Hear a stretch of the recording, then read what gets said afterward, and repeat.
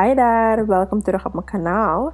En een vraag die ik heel vaak krijg is hoe ik mijn blowout doe. Dus vandaag ben ik hier om je twee manieren te laten zien. De eerste manier doe ik met de haardroger.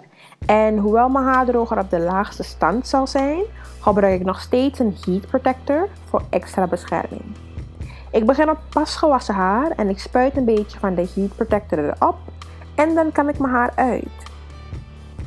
Laten we even snel een seconde nemen om mijn vriend te bedanken. Je ziet toch de zwevende droger die je in beeld ziet? Ja, die houdt mijn vriend vast. En hij heeft het best lang vastgehouden. Dus uh, ja, dat is heel erg lief. Dankjewel. En als jij het ook lief vindt, weet je, geef het filmpje een beetje een duimpje omhoog. En dan kan ik hem laten zien. En zeggen, kijk zoveel mensen je lief vonden. Maar ja, anyway. Ik droog mijn haar eerst op de koudste stand van de droger. Dus ik gebruik gewoon koude lucht eigenlijk om mijn haar droog te maken. Ik wil geen hitte gebruiken op echt nat, nat haar. Dus ik blaas eerst alle water eruit. En pas wanneer mijn haar droog is, zet ik de droger een standje hoger om mijn haar te stretchen. Om mijn haar te stretchen en ook om het uit te kammen gebruik ik een Denman borstel. En zo'n borstel heeft dus een rubberen stuk aan de bovenkant. En dat is goed om je haar meer glans te geven en het glad te strijken. En wanneer mijn haar gestretched is, ga ik het dan ook nog met hitte glad strijken met mijn handen. Nadat ik dit alles heb gedaan, gebruik ik wat shea butter om het te twisten of te vlechten en dan zet ik het vast. En dat doe ik over mijn heel hoofd. Het is niet heel moeilijk. Op de koude stand droog ik mijn haar.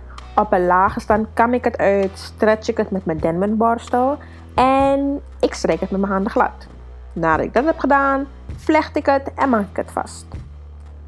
Nadat ik mijn heel hoofd heb gedaan, laat ik even alles afkoelen. En daarna maak ik het los. Dan heb ik een blowout met wat golfjes erdoor. De golfjes kan je nog uitkammen, maar je kan het ook gewoon laten. Zo'n methode heeft een voordeel en een nadeel natuurlijk. Voordeel is dat ik met deze methode veel meer van mijn lengte kan zien. Ik heb niet heel veel shrinkage. Maar het nadeel is dus dat ik hitte nodig heb voor deze. Niet veel hitte, maar toch nog wel, waardoor ik het niet te vaak wil doen. Maar de tweede manier die ik jullie wil laten zien, die doe ik juist vaker. Deze doe ik zonder hitte, maar het neemt nog wel wat meer tijd. Ik begin wederom met gewassen haar, dat ik normaal verzorg. Dus ik doe een leave-in erin, een crème, misschien nog een olie. En nadat mijn haar verzorgd is, vlecht ik het in redelijk kleine, strakke vlechten, zodat mijn lengte goed tot zijn recht komt. Tijdens het vlechten strijk ik mijn haar heel goed glad met mijn handen. Nadat ik het heb gevlochten, ik een paar vlechten heb, ga ik slapen en laat ik het s'nachts drogen. En de volgende dag wanneer ik opsta, draag ik een braid out. Ik doe het heel vaak in een bal of in een staartje, heel hoog op mijn hoofd, zodat mijn haar nog een beetje kan stretchen. Dan geniet ik gewoon van mijn dag, ik geniet van mijn leven, ha ha ha ha, leuk. Einde van de dag ga ik dus weer verder. Dan kam ik per deel mijn haar weer uit en dan vlecht ik het opnieuw. Ik zet geen product meer erbij, ik kam het uit ik strijk het glad en ik vlecht het. En dan ga ik weer zo slapen. Oh ja, en als je de volgende dag opstaat, kam je de vlechten weer uit. Geloof het of niet, zo simpel is deze methode. Want elke keer wanneer je haar op droog haar vlecht, stretch je je haar en het wordt steeds groter en fluffier. Zo ja, dat is alles. Nadeel van deze methode is dat het niet evenveel lengte geeft als wanneer je het met hitte doet.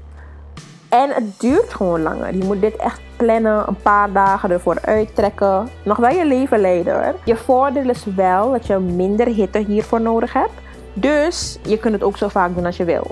Dit is mijn nummer 1 manier van een blowout krijgen. Als je dit filmpje leuk vond, geef het een duimpje omhoog. Natuurlijk ook een duimpje omhoog omdat mijn vriend zo lief was. En uh, als je meer filmpjes wil zien, Check hier op het scherm, kun je erop klikken. Als je niet hierop kunt klikken, check de beschrijvingsbox. Daar ik de link ook nog. Ben je nieuw bij mijn kanaal, vergeet niet te abonneren en ik zie jou gauw weer.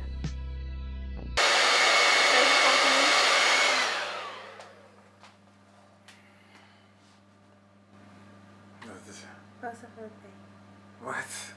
Ja. Dan. Naar de Jean-Jules.